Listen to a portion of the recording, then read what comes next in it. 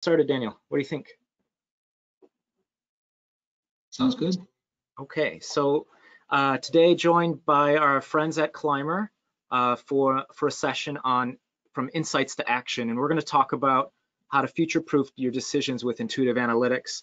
I'm gonna talk a little bit about forecasting and uh, when Daniel and I were starting to uh, create this webinar, I think you will all uh, all uh, you know appreciate this. Things were a little different a month or two ago than they are today. So we're going to pivot for some of these uh, discussions, and I think uh, this could be a really interesting topic uh, across your organization.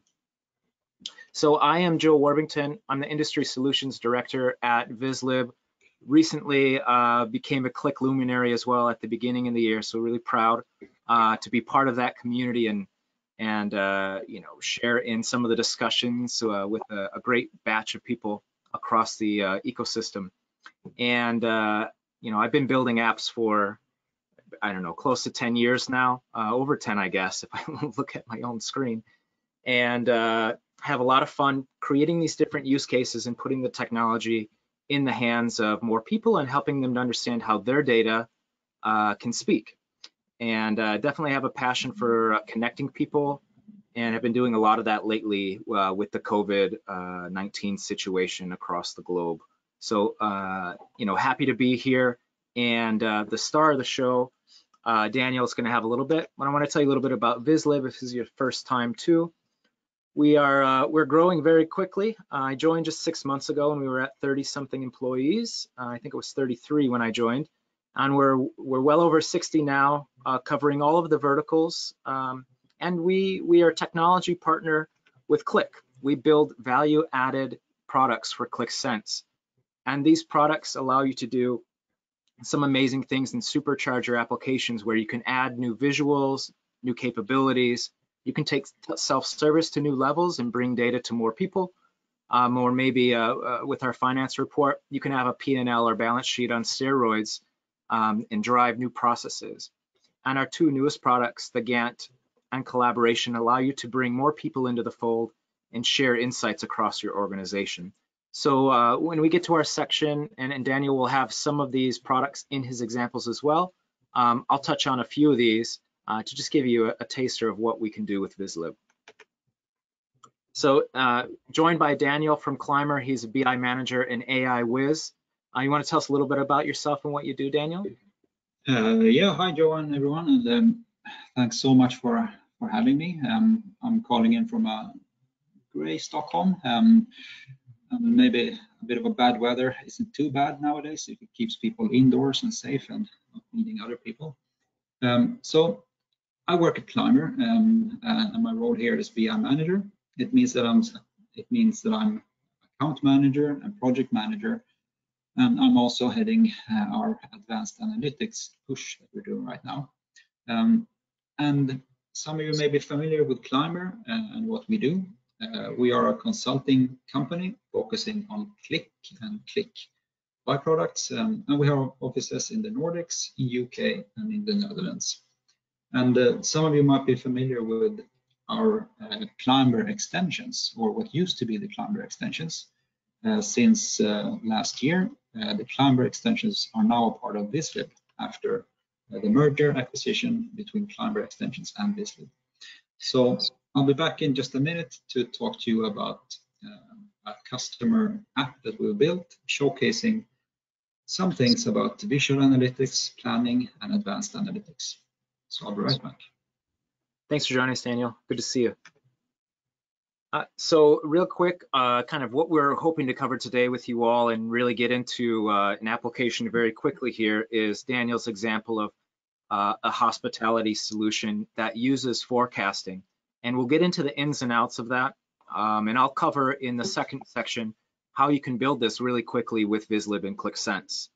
Uh, I want to take you through a couple examples too that are outside of the hospitality space just to show you what's possible. And then we'll have a little discussion and I think we'll, we'll get into some of the nuances and considerations all of you might have these days with um, predictive analytics and forecasting and how things are ever changing, uh, especially in our current situation and then we'll we'll have a, a, a good chunk of time available for live Q&A where you all can post questions um, and we'll uh, we'll figure out if Daniel or I will take the questions uh, as they come in towards the end. So I'm going to hand the presenter rights over to Daniel for him to share his screen. And I'm going to turn off my camera as well so everybody gets full screen mode. Uh, yeah, so hope everyone sees my screen. Um, please raise your hand if you don't, or um, maybe I can get some help in, in figuring that out. Looks good to me. So, yeah. So what I'm presenting here today is um, a real customer case. Um, the customer itself uh, chooses to be anonymous for this case, um, but it's a chain of hotels and restaurants. Um, and we started working with them last year because the leadership team really wanted to have an overview of their business. Um, they wanted to see what was going on. They were a bit tied up with data in different systems, uh, and they wanted to, you know, show show more of, of their business. Uh, luckily, the leadership team were also really into visual analytics, and when we presented the different cases and, and different ideas that we had to them, they really were happy to see that you could do a lot by clicking and visually analyzing. So I'll walk you through a few things that we did here um, and how we were supported by the Vizlib tools uh, to make that happen. Um, but I'd like to start off with, you know, just mentioning the current situation. Of course, six months ago in the hotel and restaurant business is very different from the last couple of weeks or months. Um, and I mean, if if understanding your data and your business was important then, now it's really critical for survival. So I think from what I've heard, um, the usage that they have in the app has really gone up. Um, the way they look at data and, use it to plan day by day has really dramatically changed. So um, what we see here is a quick overview of the most important KPIs uh, that they use in this hotel restaurant chain. Um, obviously, a few KPIs regarding occupancy, uh, staff cost per hotel night, and some industry-specific uh, KPIs, KPIs such as RevPAR or revenue per available room. And in many cases, um, a user who's never seen anything uh, in a dashboard format or hasn't experienced Qlik before um, is really blown away but by just being able to click anything, uh, look at what they want and make selections that reflect everywhere. So starting from the top, uh, you know, simply being able to see what happened on every Monday during this quarter, or seeing how does it look on Mondays for this specific uh, hotel or restaurant, or being able to switch between different currencies just one click away. I mean, for many users, just being able to do that does a lot of what they want to see. But we wanted to stay a bit more on the uh, visual analytics part of things. And here we also got a lot of help from uh, the Vizlib extensions. For example, uh, the simple KPI. So many of you are probably aware of the standard KPIs and what they can do. But with the help of the Vizlib KPI, we can really show a whole story of our data. So if you look at the occupancy rate um, for all hotels, or if we drill down to this specific hotel, we see that the occupancy for Q1 19 is around 60%. Um, compared to last year, it's almost uh, the same, but week by week compared to last year, it varies up and down. So just by adding this simple KPI, we can tell the whole story around uh, occupancy week by week compared to last year, and if it's good or bad, in just these few squares. And going forward, um, I mean, everything doesn't have to be super visual. Uh, I still believe that many things can be accomplished with standard bar charts, standard scatter plots, etc., etc.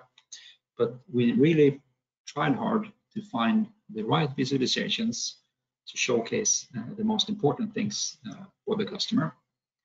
And I'd like to share with you a, a small story about this specific chart. Uh, it's called a Venn diagram, and it's a part of the Vizlib library.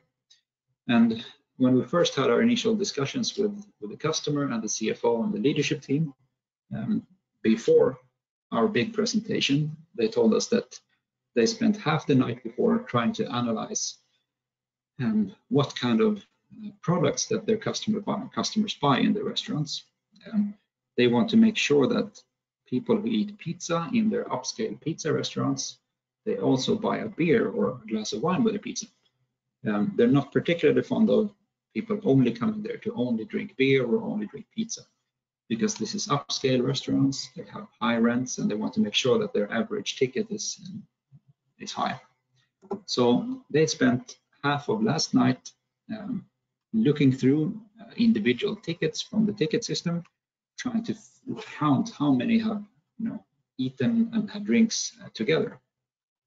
And as a sort of coincidence, the very next day we came with the Venn diagram and showed them that for this selection of uh, for the sample selection, we had uh, a number of pizza tickets, a number of drinks tickets, but also a number of drinks and pizza tickets. So they really use this information to be able to drill down and go further into what kind of what kind of tickets and what kind of customers do they have. So I love that, that, story, Daniel. Yeah, it's um, you just changed their lives, right? So maybe they'll still be spending nights drinking beer and eating pizza, but they don't have to go through all those receipts to figure out this stuff the next round.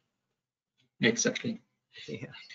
so let's say that we have our 79 sample tickets with pizza and drinks.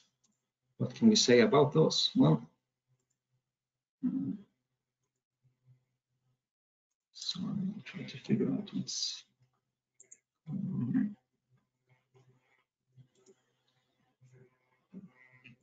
One moment, we'll see if we have a technical issue here. Yeah, there we go. So by drilling down into pizzas and drinks, we can switch to the next level. So instead of just looking at the main types, we can continue already to see, okay, so maybe we're pushing pizza and bottled beers. Uh, what kind of combinations do we have? Can we teach our servers to recommend specific beers for specific pizzas? What have people bought before and, and what do we do with this information? So let's continue. Uh, let's look at bottled beers and the 22 sample tickets for that. And now we can go down to the individual products. And well, this is a bit bubbly and a bit much information, but we do see some trends here. For example, we have the margherita pizza and we have the Poretti beer, and there seems to be a fairly large overlap between margherita and Poretti. Uh, we also have the prosciutto pizza and the IPA beer, and a fairly large overlap between those. So there seems to be some kind of different taste profiles with margherita eaters drinking Poretti beers and prosciutto uh, eaters drinking IPA beers. Um, and maybe that could be inspiration for you know, having recommendations, uh, showing more information and taking that one step further. So this is one really fun example um, of how a simple visualization um, can really change the way they work and change the way they think. And the next level of this, uh, of course, would be to look further into what times of day do we have certain trends, uh, where do we see trends that uh, are different from, from place to place, etc. So that's a few comments on how to use um, extensions and more innovative uh, visualizations to, to plan and to understand your business better. Um, then we have another thing that's really important for uh, the hospitality industry and of course every other industry as well. And that's the thing of planning and understanding and visually analyzing uh, staff costs and, um, and, and, worked hours. Of course, uh, for hotels, um, staff cost is a big part of, of their cost structure. And as you can see, around one third to half of the revenue for hotels is taken up by uh, staff cost. So one of the things that we did was drill down a bit deeper into employee analysis. How do we plan? How do we understand? What can we say about um, you know, how we how we plan our staffing? And the ideas here are similar. We're looking at the various KPIs that are important for this company. Just a quick overview of the work hours, how many full-time employees do we have, um, what's the total staff cost, and what's the staff cost per hour. And I mean, here we have again the, the power of Qlik, being able to combine information from different systems and different sources and put them together, clickable, interactive, and analyzable.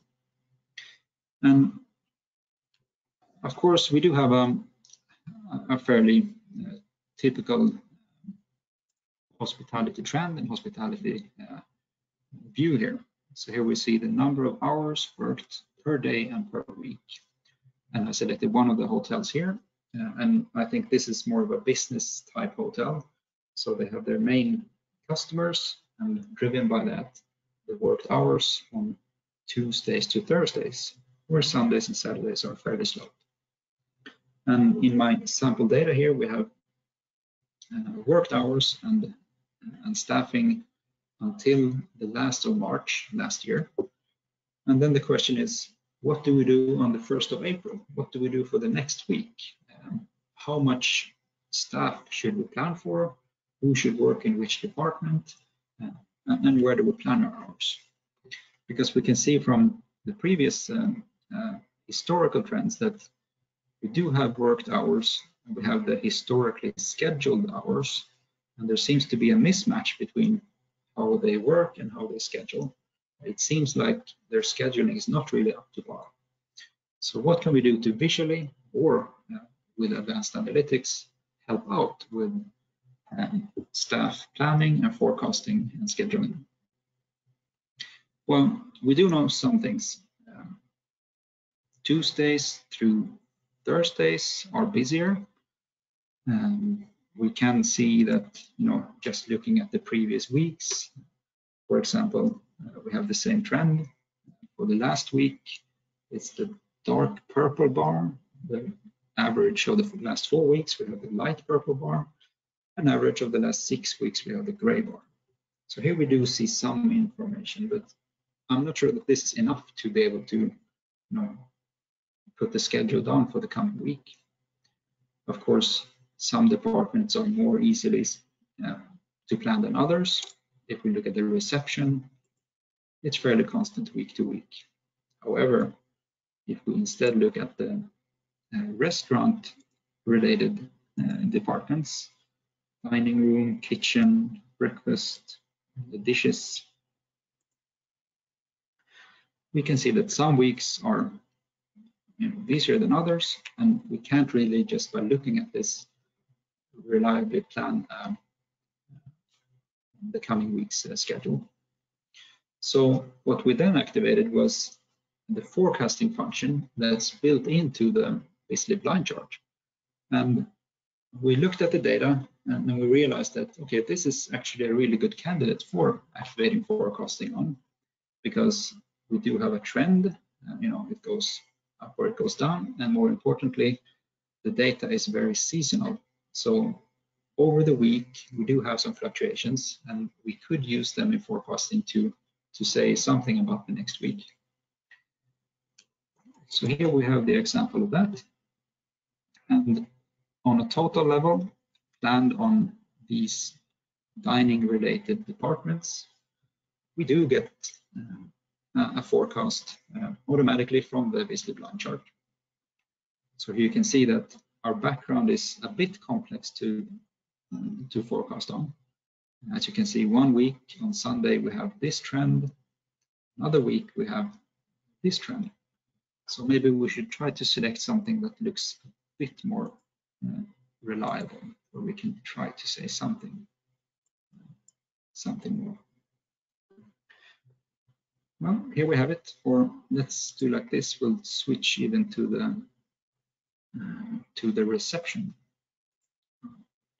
here, click more, and the reception.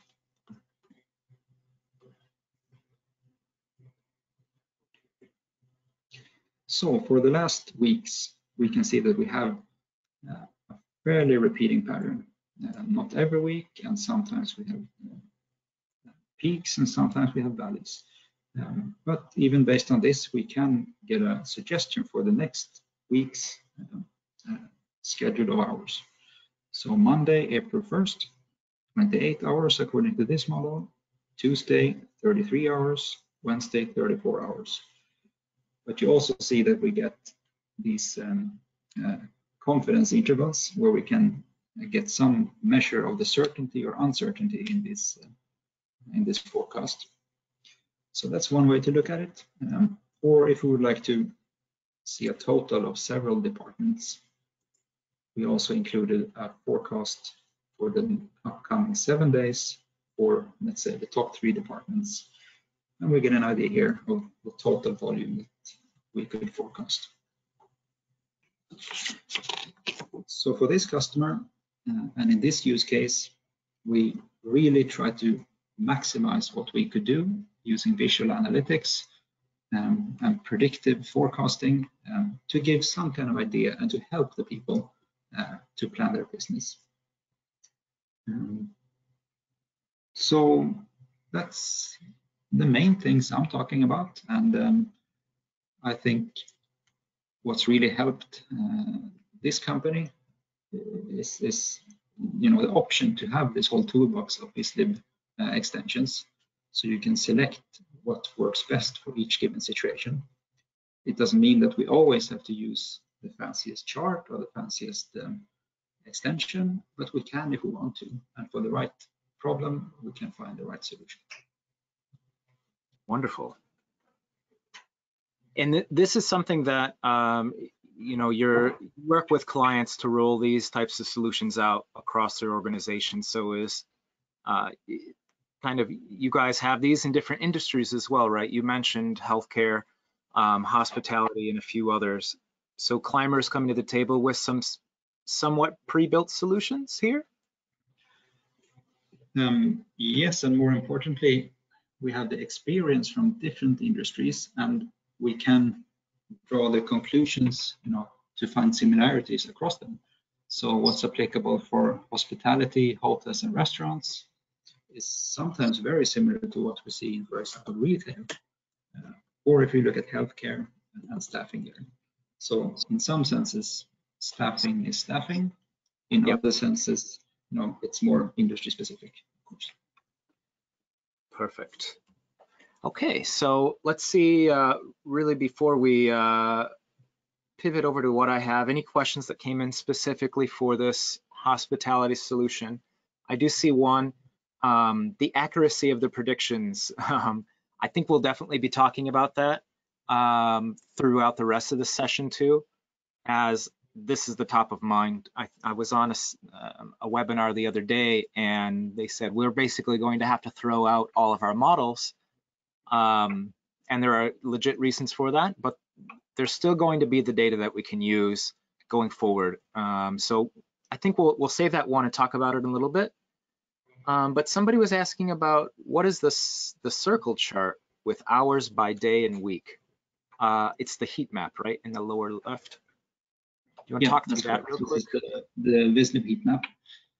So what I think is appealing with this chart is, well, first of all, it's a heat map, uh, which I find very, very nice. Um, also with Vizlib, we get these, um, what could you call them? Um, the lines and the pointers to show us really where we are and, and to have an idea. And especially I'm a big fan of how we select in this heat map, so we can just draw a line for all Tuesdays to th through Saturdays in week, oops, sorry, on week four to week 10. Mm -hmm. Go down there. So, so, this is my favorite things to click around in, yeah. Yeah. Okay, great. Um, then one more real quick here is how do you switch between 14 day forecast and seven day forecast by department. Hmm? I think they're so, um, curious how you have a container inside of your screen. Exactly. So this is a Vizlib container and behind the scenes I have a master item for the seven day forecast chart and a master item for the 14 day forecast chart. And I simply switch between them by clicking here. Um, Perfect. I hope that answers the question. Um, otherwise, building a 14-day forecast or a seven-day forecast is, uh, as Joe will show you, a setting on the chart itself. Perfect. Thank you, Daniel. Very interesting. Um, I'm going to share my screen here again. Let me know. Um, the slide should come back up. Should be good. And I'm going to share uh, my browser here. Make sure that comes across first for folks. Look good? Okay, so uh, the, the starting point for a lot of people is going to be at vizlib.com, where you can find our different products. You can start a trial for free for five users, put it in your environment, and start playing around with uh, any of the things that Daniel's showing you today, and a few of the things that I hope to get into. Um, so just orient yourself with our website. Lots of great resources here too, where we walk you through why you would want to use certain visualizations over others, or you can join our community uh, to learn more about um, the different ins and outs of different solutions that we have and what our products can do. But I wanted to take uh, a line chart and show you how we add the forecast in with something that uh, maybe many of us have been doing lately, which is binge watching Netflix. And I'm sure we all have our, our favorite guilty pleasures here. I put this data together, uh, found it from a, a data source called Kaggle, that gives us information about movies that Netflix has been creating, but not only movies, but the TV shows. And I think you've seen over time, uh, Netflix has gotten into a production mode where they create a number of movies, but they've also been very successful with new TV series. And so their TV shows started to just jump up so that people have more binge binge worthy things to watch. And I wanted to know, you know, this data ended right at 2020 how can we try to figure out how many movies or TV shows Netflix will create? And this is where um, the first step is maybe just adding a trend line. So we're going to hit edit here. And uh, we're using the Vizlib line chart, which gives us a, a lot of interesting features to customize the look and feel. And so if I grab this movies timeline, which we put in blue here, um, which represents now about a third of uh, um, or I'm sorry, I had it backwards there. The movies represent about two thirds of everything. We are going to turn on a trend line. So if I scroll through all the options that we have, um, we will see a section to just click trend lines and we can pick a linear regression, power, exponential, polynomial, but right there we see, yeah, movies are on the up and up. We could do the same thing, obviously for TV shows, and when you get trends like this, this can help you to look into the future a little bit. You pull your ruler out, right? Uh, everybody has one of those on their desk. Put it on your screen and kind of measure out and then try to figure out where you're at on this line. They're going to have maybe 150 movies out sometime in, in 2020. That's a, that's a way to do some forecasting by hand, but let's turn on um, forecasting with the Vizlib line chart. What you'll see is we don't require R or Python or SAS to be set up behind the scenes. There's no server-side extensions configuration needed. We just give you the ability to turn on advanced analytics. In this case, we'll calculate a forecast. As soon as I put this in, you'll see that uh, the line chart is now forecasted out. We drop a nice little annotation here and give you that forecast that Daniel was showing. And um, we give you the ability to choose the range, kind of define the period, how far back you want to train this particular model on the historical data, and then how far forward you want to forecast. The model behind this is the Holt-Winters forecast, which is a really common statistical method uh, for doing time series analysis. And, you know, I'm not a data scientist, don't purport to be, but these are things that uh, you're going to see and have seen in a lot of uh, uh, models and line charts that have been floating around lately. Um, they do have nuances. If, if we make the period too large and go too far back, you're going to introduce a lot of noise into the model. And that's where we have the confidence levels that get set. And those ranges can also be configured. Um, but we give you a lot of information on how to use this, how to configure it. But without me even pressing any buttons, we get a nice forecast um, that we can hover over and see you know, by this time, uh, you know, five periods in or five months in, Netflix should have 160 movies that they've created and 57 TV shows. This is seasonal data, um, and it is going up. So that Holt-Winters forecast that we have is figuring out the fluctuations and the trends and smoothing this curve to give you um, a view of what is potentially going to happen. Um, but I think we all know there are unforeseen events that can happen in the future. Um, and the COVID-19 uh, situation obviously is impacting every business, every individual across the globe. And we expect to see um, spikes happen. Uh, and this will happen further out into the future as well. So these things need to be taken into consideration that if you're going to look over this last period of two to three months, um, and in the future you're going back and looking at it, it, it will affect your forecasting ability. Um, so it's something to take in consideration.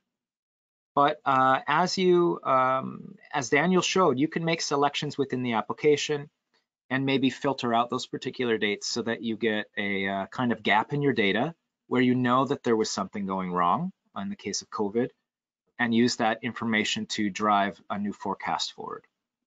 So what you can get with something like this, I spent a little bit more time just to format some of the things in the line chart. I wanted to add in uh, where I think some annotations like Netflix released a couple of shows. House of Cards was really popular, uh, then had a terrible, terrible ending. Um, and then Arrested Development they acquired, and Orange is the New Black was really one of the first new series as well. But I think around the Stranger Things time in 2016, they really hit their stride, and that's why you're starting to see the number of TV shows spike up. Um, and uh, I expect this actually to jump up as production crews have really jumped on the Netflix bandwagon. So this is the type of thing you can do with line charts, and this really paints a much better story uh, for somebody that's going in and viewing information uh, on a time series analysis like this. Uh, so that's a little bit of the forecasting, how you can quickly turn this on and the dials and switches that you'll have. Um, it, there's no additional configuration necessary, as I mentioned, and it's just simply using the Vizlib line chart to do this work. But this leads me to the kind of so what. I want to share this information um, we want to get that information out to more people. And we've created, uh, as I mentioned, a product called Vizlib Collaboration. And collaboration lives inside of your applications. Um, you'll see this little uh, fun little bubble here, which allows me to make comments on the entire sheet of data. And uh, you'll see here our team uh, uses this to have communication across this particular application. So in this case, Martin was saying, hey, Ralph, take a look at this. When I double click uh, on this particular comment, no, really, I want you to look at this selection. Um, Martin was making an insight here, and he was sharing this with the team to say, go look at these particular selections that were made and, and how it's being reflected in the data. Uh, but Jonathan came in and said, you know, he wants to have a discussion around this. Um, and then you know we can move through and have a threaded conversation around the data. Um, we can see what Giuseppe said here with Mark, and even have a threaded reply. Um, so I can come in here and say like, Mark, you know, why aren't you talking about this? You need to add your comments here and have a, uh, a fun but can be very serious way of talking about the data uh, within your application. Not only commenting on the entire sheet, you can also comment on individual visualizations like we have here, with this KPI box.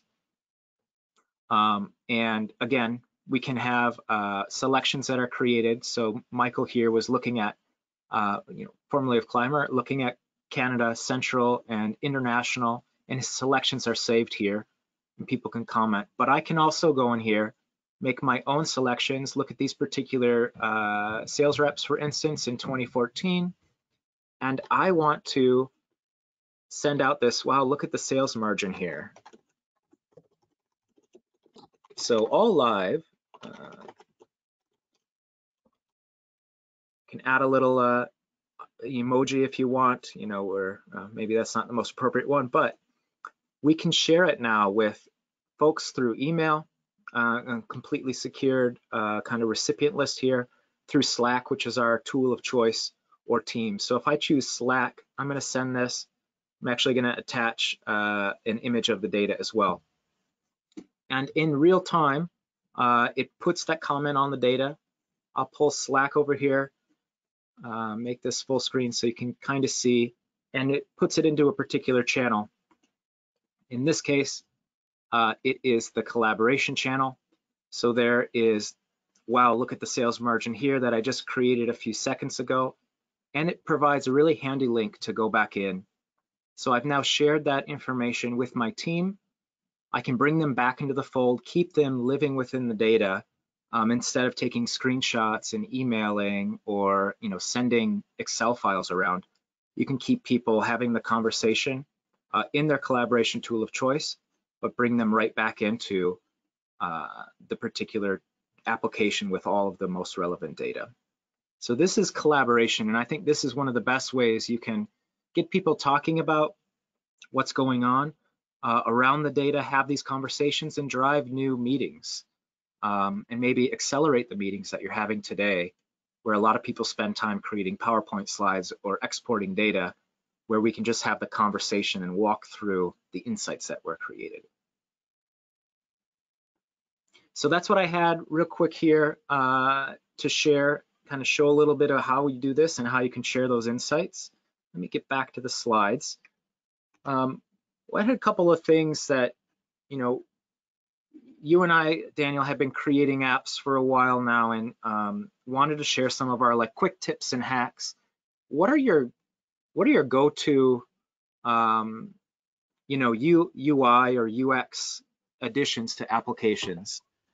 Um, uh, yeah, good question. I think um, I always try to remember the basics. Um, anytime you're showing some kind of data, or especially when you're looking at an overview, um, the ability to have three things, um, traditionally three things. So one thing is the comparison. So if you have your budget to compare to, or if you have your previous year or target or something like that, being able to show, you know, in a simple way, where do I stand compared to how I should be standing? That's one thing. Uh, yeah. The next thing is to include some kind of benchmark. How do I compare to my peers or how do let's say units or departments compare to each other who's the top three who's the bottom three etc um, so comparison benchmark and then a trend uh, to show how has it gone yeah. previously and, and, where am i headed so i think if you have those three things covered then you're fairly good uh, i'd also like to add a fourth thing that's becoming available to us now especially using these predictive things and that's to say something about how will it go? So some kind of prediction or estimate or you know looking into the future based on what I know now. How do I think or what do I think will happen or could happen in the future?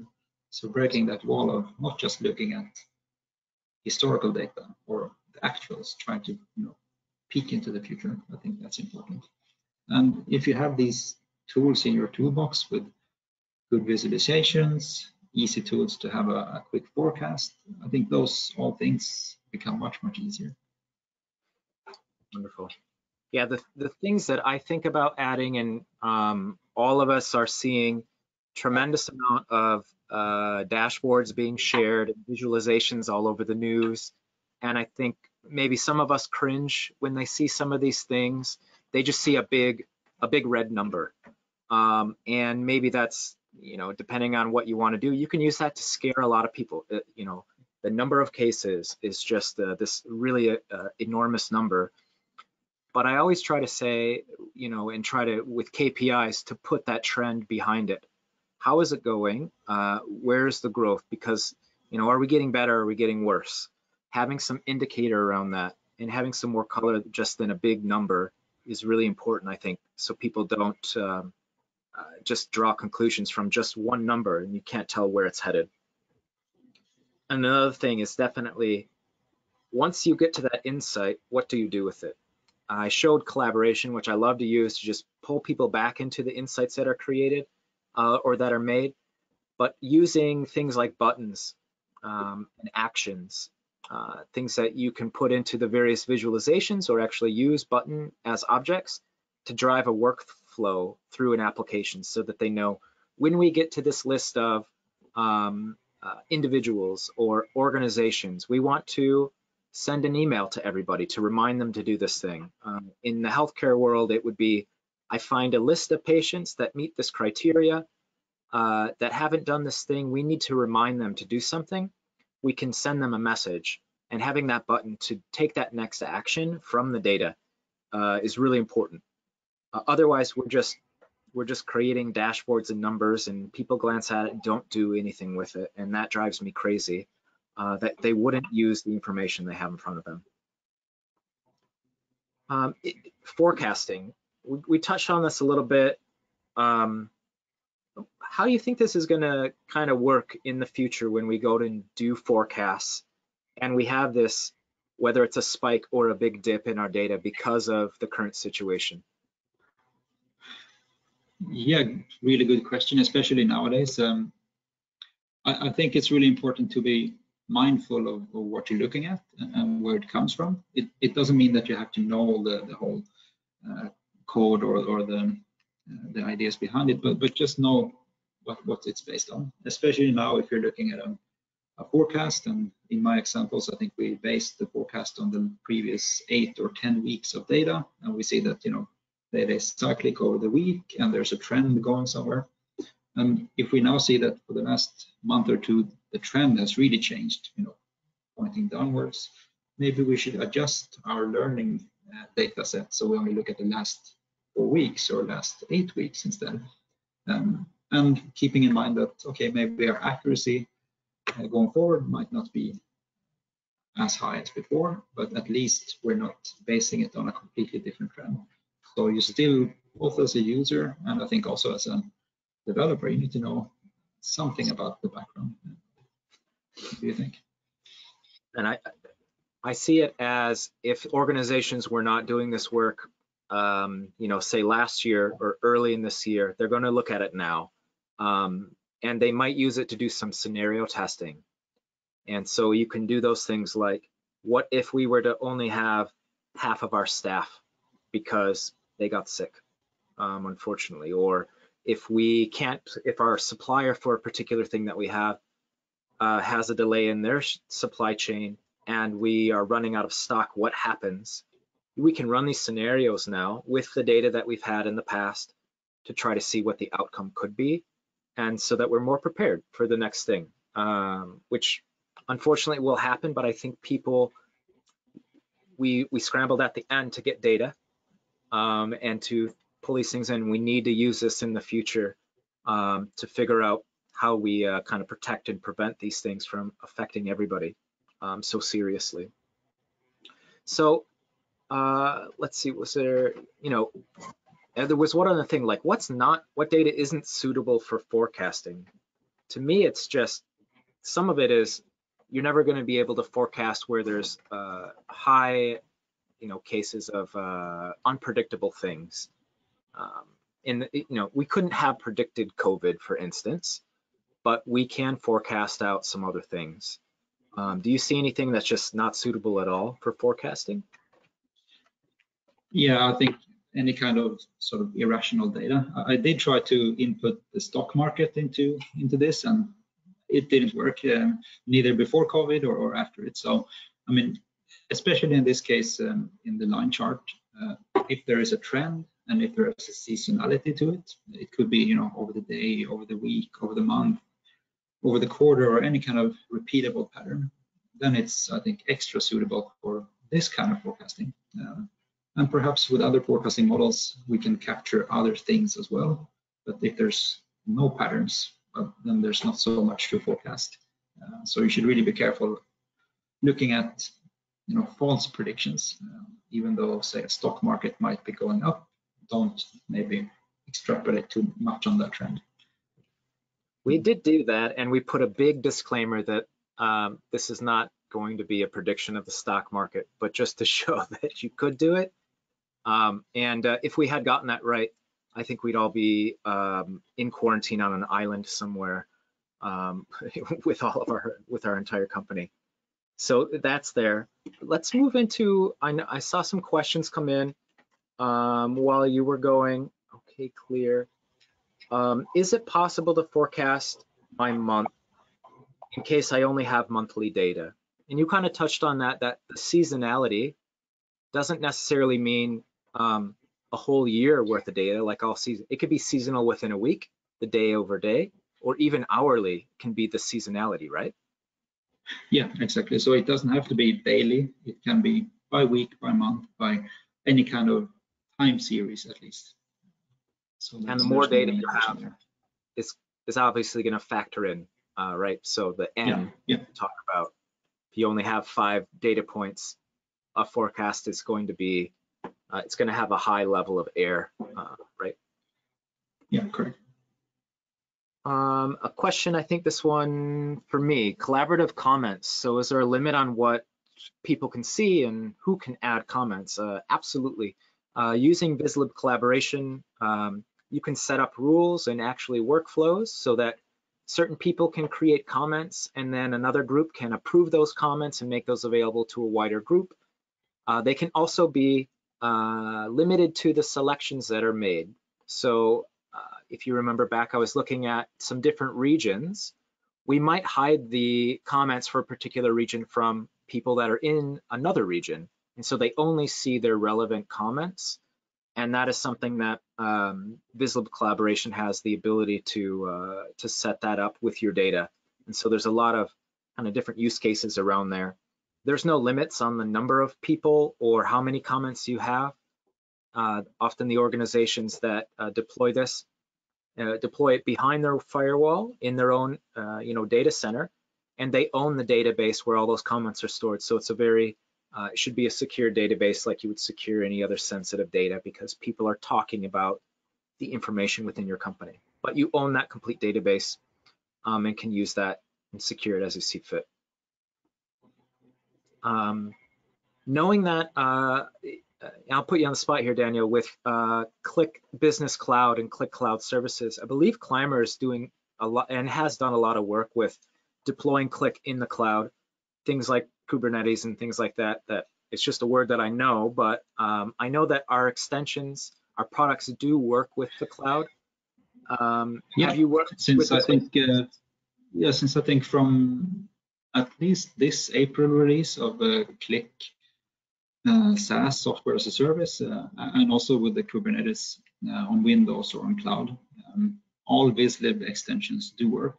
Um, so if you're a Vizlib customer today, um, your same extensions work just as well on-prem, on Windows, on Kubernetes, uh, or in the cloud.